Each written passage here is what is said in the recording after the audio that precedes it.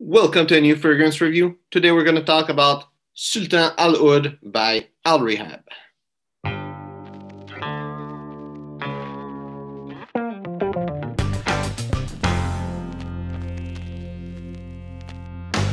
So again, this fragrance is uh, oil-based fragrance with that little ball to roll on my skin to smell it.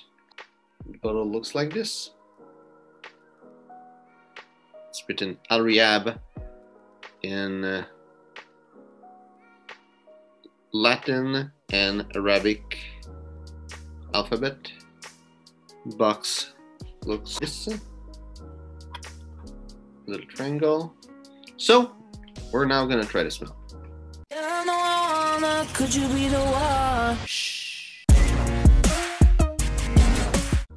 What I'm picking up is woody note there's a lot of woody note.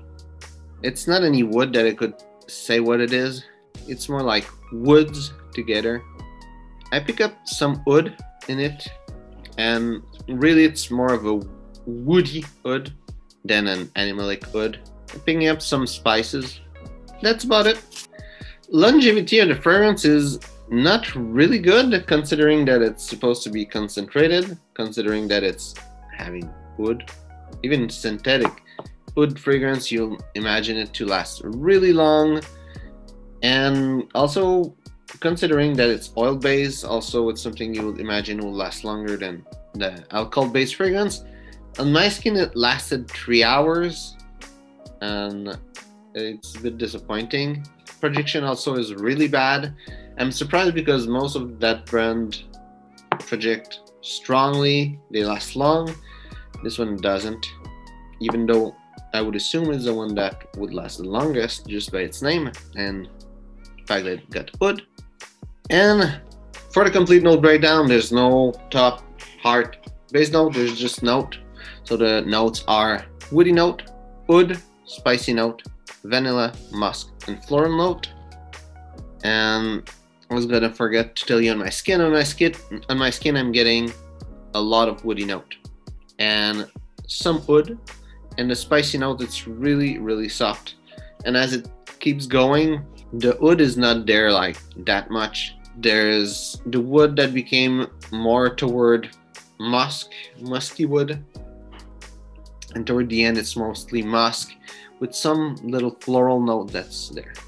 And where i would see this fragrance i think it could be a good business fragrance somehow with the smell, but I don't think the other qualities of it would make it such a good business fragrance. As a dating fragrance, I don't think it will be that good. Winter fragrance, it will be bad. Summer fragrance, it could be nice if you like woody fragrance, and you know, in summer it will project probably more, so it should be a good summer fragrance.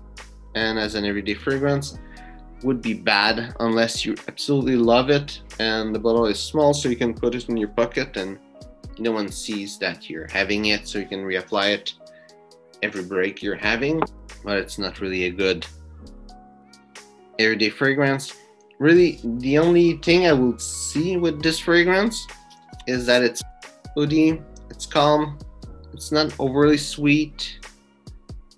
It could be a nice fragrance before you go to bed. If you put fragrance before going to bed and that's pretty much all I would see with that. And who else, who I would see wearing this fragrance? I think with this one I don't know. I don't know who would be uh, wearing it. I usually I can have a, have an idea but it doesn't last long. It's good for going to bed so it's not it's not quite a fragrance that I would see anyone wearing, or I know wearing anyone that's really in the market for that.